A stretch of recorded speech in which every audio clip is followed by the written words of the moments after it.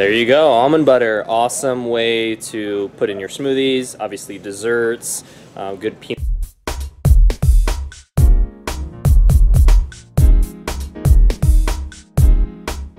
Hey, it's Lance McGowan here. We're at Costco Summerlin once again. That's right, can't get enough of this place.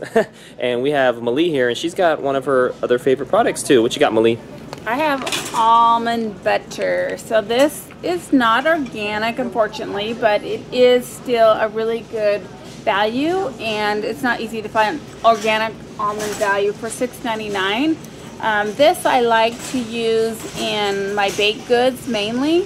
So you can make like cookies or candies out of almond butter. And if you can't do peanuts because you have a peanut allergy, then almond is another good nut choice for your protein and fiber. So you get six grams of protein, four grams of fiber, and a serving of almond butter. So it's already pre, it basically it's just almonds blended together is all it is, is roasted almonds already blended smooth so you don't have to blend it yourself.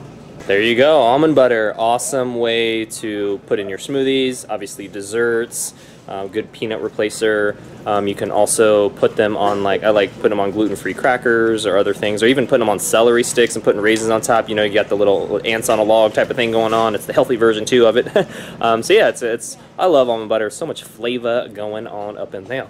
Alright, so if you like today's video, make sure to give it a big like, big thumbs up, hit the subscribe button if you haven't already done so for future video updates, and we have a special offer for you. We have the official Costco Shopper's Guide that we created for you, so you can smart when you're out and about. Discount code is Costco.